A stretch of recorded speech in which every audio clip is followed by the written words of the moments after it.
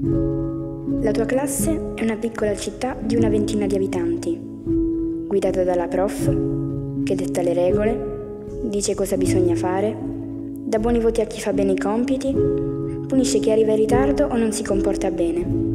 Insomma, la prof ha il compito di far rispettare la legge.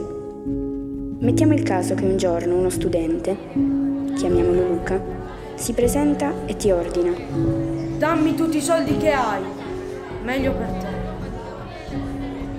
Non è giusto. Allora tu vai dalla prof per farti difendere. E lei ne dice quattro a Luca.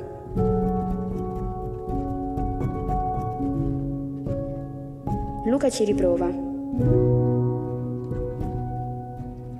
Tu torni dalla prof che, a questo punto, porta Luca in presidenza. Il preside lo sospende per una settimana dalla scuola. È stata applicata la legge e tu sei stato difeso giustamente.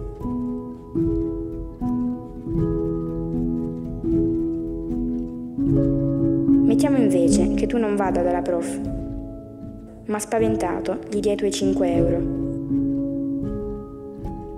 E tutti i tuoi compagni di classe fanno lo stesso.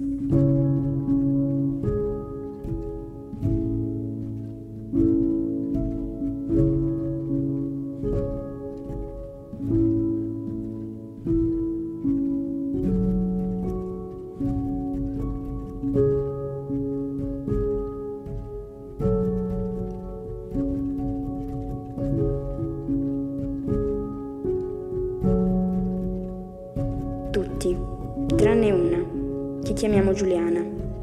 Lei non ha paura, non paga.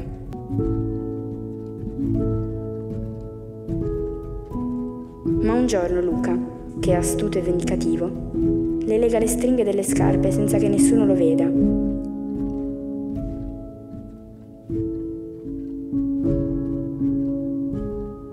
E Giuliana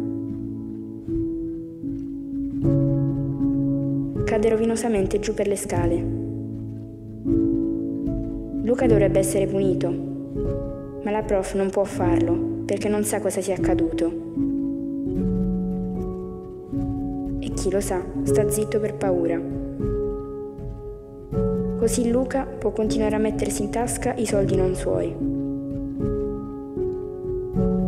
Il risultato è che nella tua classe ora esistono due leggi. Quella giusta della prof, l'unica che dovrebbe valere, è quella di Luca, illegale, la legge del più forte.